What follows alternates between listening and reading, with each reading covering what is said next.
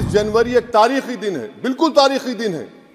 22 जनवरी की बुनियाद 6 दिसंबर 92 को रखी गई। 22 जनवरी की बुनियाद 86 में ताले खोलकर रखी गई। आज मुल्क के 17 करोड़ मुसलमान भा, भारत के वज़ीर आज़म पर एतमाद भरोसा नहीं करते बिल्कुल नहीं करते बता रहा हूँ खुल के कह रहा हूँ। मैं ज़िम्मेदारी के साथ कह रहा हूँ कि भारत के प्रधानमंत्री और उनकी सरकार भारत के मुसलमानों से उनकी शनाख्त को छीनना चाहते हैं।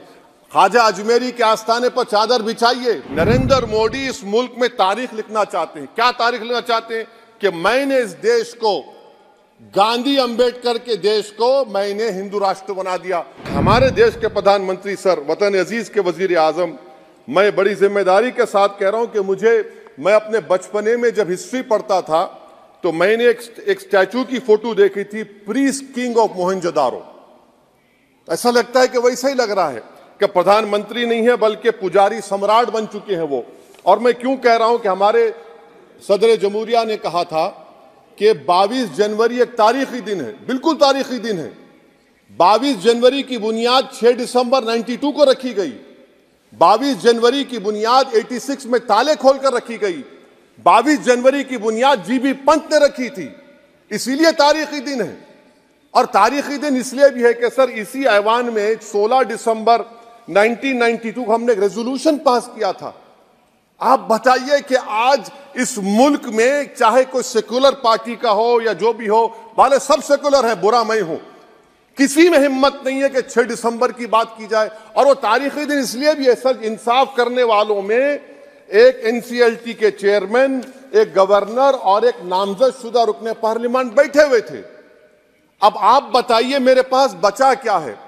बचा यह है कि आर्टिकल 32 बचा है जिसको बाबा साहब अंबेडकर ने दिया। आज मुल्क के 17 करोड़ मुसलमान भा, भारत के वज़ीर आज़म पर एतमाद भरोसा नहीं करते। बिल्कुल नहीं करते बता रहा हूँ खुल के कह रहा हूँ। अगर आप आर्टिकल 32 का ड्यू प्रोसेस ही खत्म कर देंगे तो फिर मेरे पास क्या बचेगा सर? क्या बचेगा? मैं तो खड़े होकर वो सुप्रीम कोर्ट के मायानाज बेबाक वकील दुष्यंत देवे की तरह तो नहीं कह सकता। मुझे आज भी रूल ऑफ़ लॉ में भरोसा है। मुझे आज भी कानून पर, संविधान पर भरोसा है, मगर ड्यू प्रोसेस तो फॉलो होना चाहिए। ड्यू प्रोसेस फॉलो नहीं हो रहा। एक तारीखी दिन 22 जनवरी था, एक तारीखी दिन 31 जनवरी था। सर, रात के अंधेरे में अपील किए बगैर आप आरे लेकर रास्ता खोल देते हैं।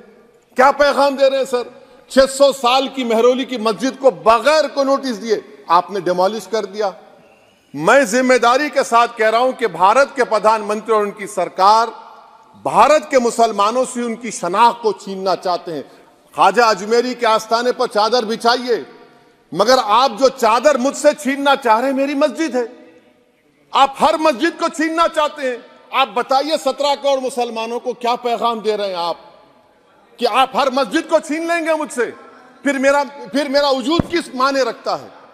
मेरा शनाख्त क्या माने रखता है? रूल ऑफ़ लॉ क्या माने? अच्छा 1991 के प्लेसेस ऑफ़ वर्शिप एक्ट पर क्यों नहीं बोलते आप लोग? आप उस पर कायम है नहीं है। आप 500 साल की बात करते मैं आपसे कहता हूँ, भाई 500 साल पे मत जाइए। बोध पे जाइए, जैनिज्म पे जाइए, शैविज्म पे जाइए। कहाँ रुकेंगे? अरे, इस देश को आज़ादी मिली 47 में। संविधान मिला हमको बाबा साहब अंबेडकर का, बराबरी का। उससे पहले तो राजा रजवाड़े थे।